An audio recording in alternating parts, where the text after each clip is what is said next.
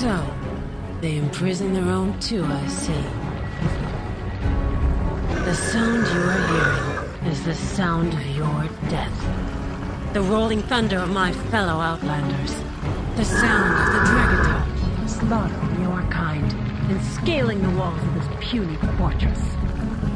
They are coming to set me free. And if they don't get to you first, I will personally rip you apart with